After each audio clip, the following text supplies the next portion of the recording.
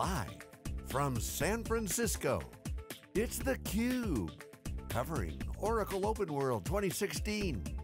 Brought to you by Oracle. Now, here's your host, John Furrier and Peter Burris. Hey, welcome back everyone. We are here live at Oracle Open World in San Francisco. This is SiliconANGLE Media's theCUBE. It's our flagship program where we go out to the events and extract the signal from the noise. I'm John Furrier. My co-host Peter Burris, Head of Research for SiliconANGLE Media and also General Manager of Wikibon.com Research. Our next guest is Gretchen Alarcon, who is Group Vice President of Product Strategy at Oracle. She has the keys to the kingdom of the product that is the center of the universe at Oracle, HCM. Welcome to theCUBE. Thank you, thanks for having I'm me. excited to have you on because we were just talking about this with the APAC folks about the role of people as an Internet of Things things. And I, two years ago I said, you know, as I used to read to my kids, thing one and thing two, Internet of Things is not about just machines, it's about people. Right. And that HCM has really morphed in the, just in the past many, many few years from being a top-down, structured, database, schema-driven application. Right. People file performance reviews, there's a structured process, and then all of a sudden people were very unhappy, um, turnover, people were leaving, all kinds of HR issues were kind of stuck there. Now a new breed of software is solving that, so I want to get into it. What, what is the most compelling thing right now in HCM that is really moving the needle in terms of employee satisfaction and employer productivity relative to retention, onboarding new people, and so on and so forth? Well, you know what we're seeing happening overall, and it's kind of interesting, is the workers that you have today, and I'm not just talking those who are you know younger workers, but workers in general, have really changed the way they see their engagement with an organization. They're not joining companies and thinking, this is my long-term career. They're joining companies and saying, I'm here for this period of time until I learn these skills or until I reach this level. Um, and so as a result, we're seeing a lot more discussion from an HR standpoint around how do I retain these people? How do I engage them? Because any, you know, if I've spent the time to invest in them and train them, I want them to be a longer, more productive employee. And rewarded personally Right, for exactly. their work. Yeah, so but it changes the discussion, right? So instead of HR being this top-down, manage the system, there's much more of a focus right now on how am I engaging workers, how am I being, making them more productive? And the other thing that has really changed, and it's funny because I was here when it was first invented, is the whole concept of the technology that your employees are bringing to work now, right? I'm so familiar now with where my what's on my phone, with if I'm using a tablet, that sort of a thing. I expect information to come to me because it does in all other areas of my life. So why wouldn't HR information act in that same way? So that's really changing how we think about our systems because we're not thinking as much. We're still thinking process because process will never go away.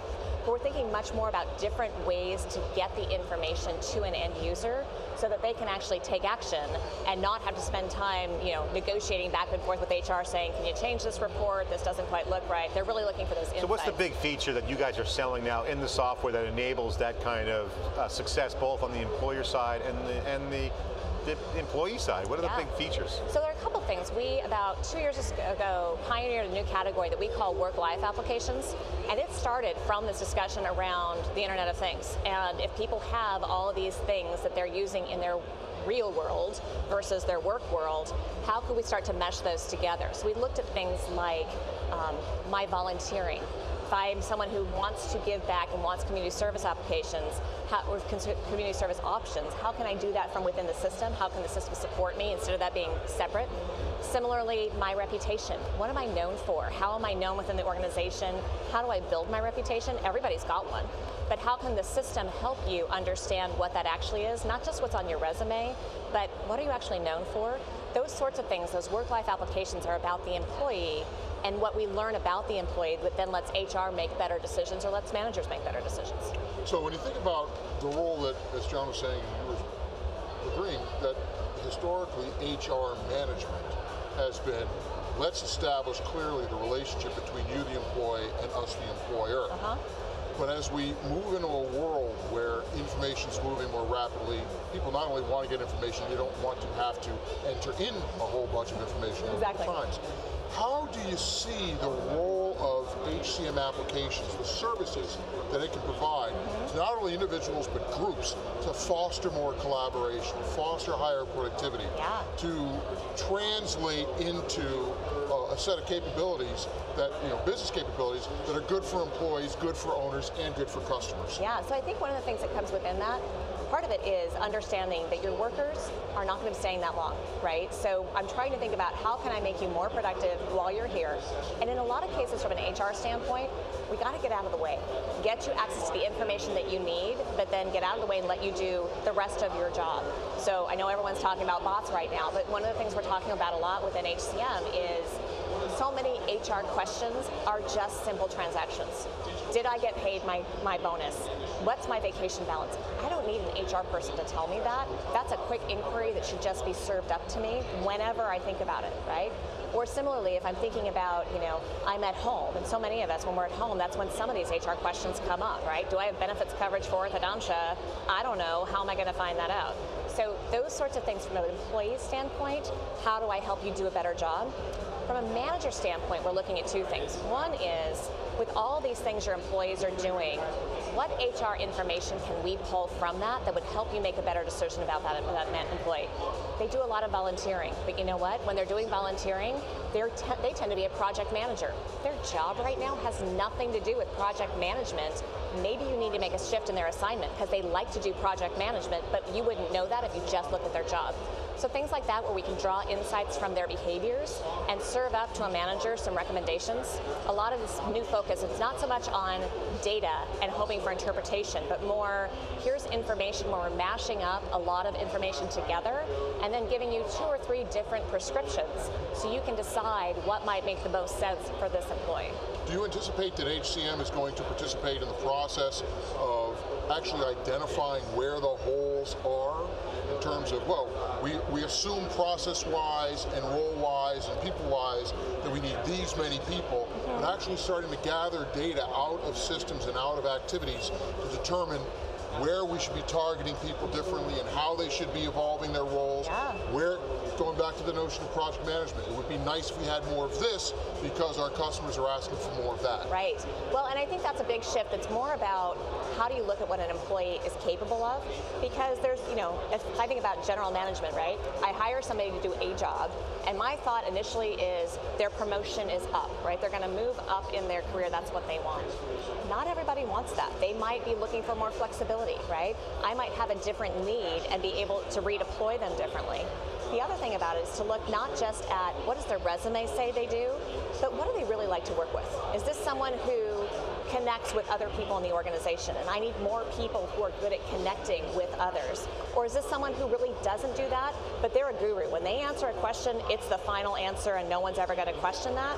I might value those skills differently, which again is not something I would put on a resume, but it has more to do with their behaviors. And the more of that that we can pull out, then we can show a manager that yes, you need a new software developer, but you need a software developer who's a connector who knows how to communicate with customers. That's a different job or a different skill set than just what your standard job description might have said.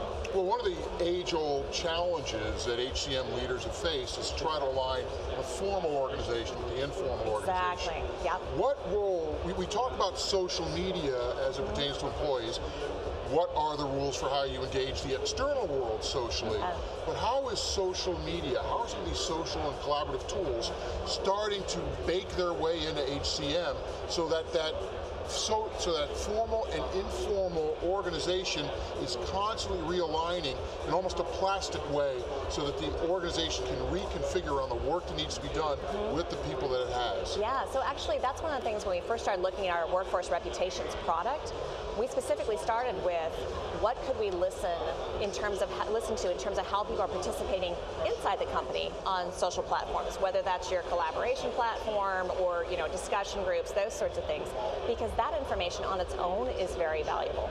Now, if you want to take that a step further, there are definitely some privacy questions that start to come up about, you know, do you want to listen to someone's LinkedIn or their Facebook or, you know, other platforms?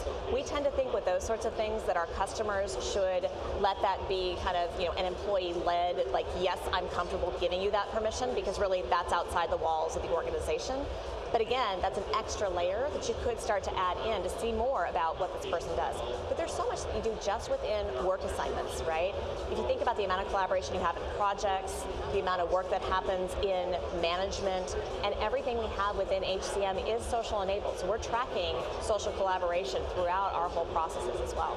Well, one of the things we've been advising CIOs, for example, for years is not just to track help desk statistics, but to actually look inside some of these HCM systems to see what people are talking about right. as it pertains to existing systems, new rollouts, what types of things that they want. Mm -hmm. Seems like it's a very rich source of information that could be exploited better.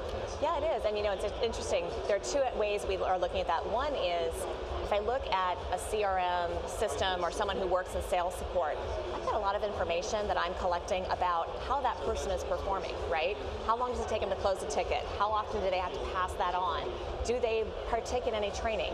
And one of the things we focus a lot from a learning perspective is how can I make that learning more available to the person right at that moment to say, wow, you know, your last three calls on this topic have gone longer than they should.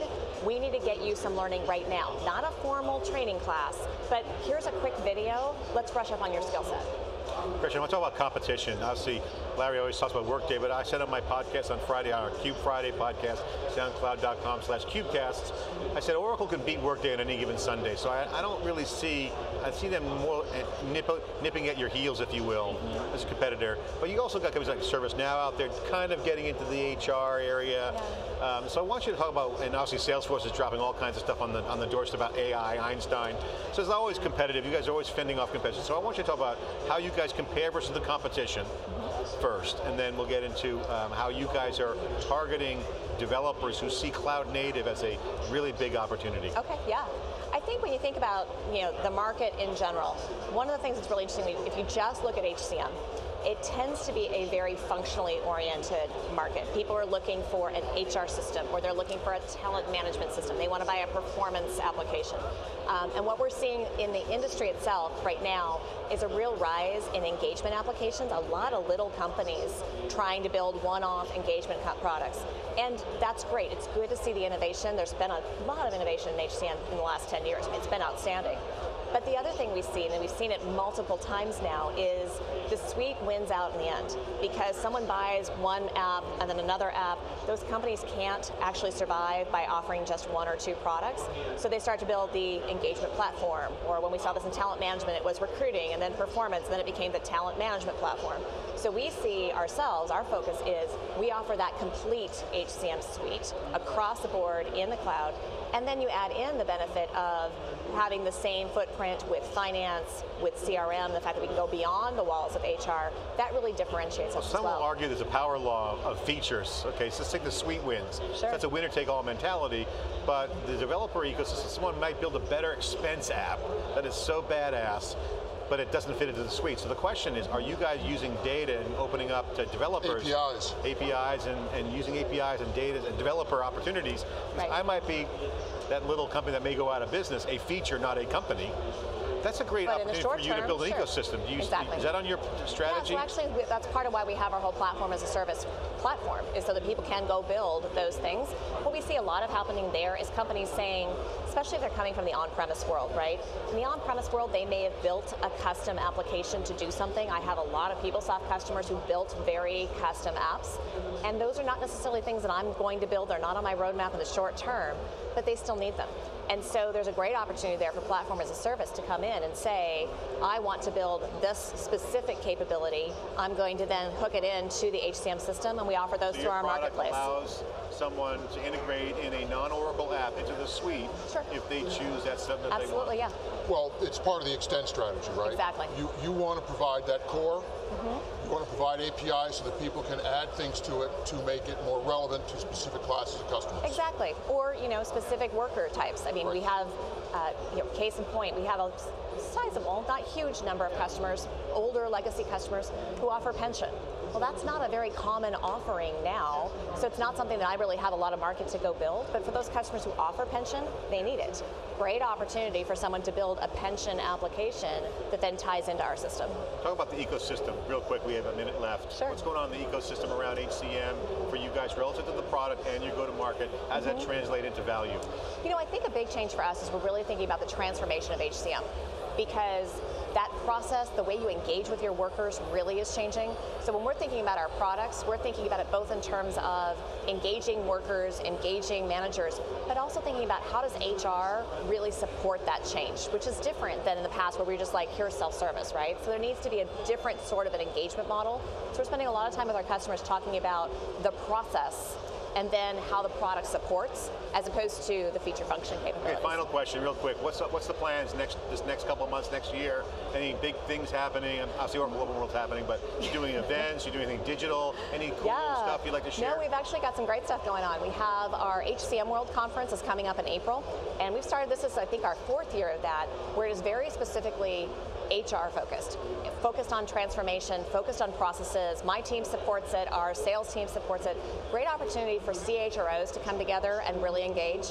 And then you add on top of that, you know, we're starting our conference season, so we're at a lot of other events as well coming up here. So we're really out there spending a lot of time with our customers. And it'd be safe to say that the Internet of People is a trend that you support. I love that term. I'm totally going to adopt that. Oh, we're talking about Internet of things and people. There you go. That's good too. I'll stay with Internet of People. Copyright the cube. Um, we'll license it to Oracle. No, I'm only kidding. Seriously, we believe the same thing. Congratulations. Thank and you thank very you much. for coming on the cube and sharing your insight and the data here. Thank you so much. Great, thank you. All right, live here in San Francisco on the ground floor, big booth in the middle of the hallway. You want to come by, if you're here at the show watching on your mobile phone, come by the show if you're watching. Keep engaging with us at the Twitter handle, theCUBE. Be right back with more live coverage after this short break.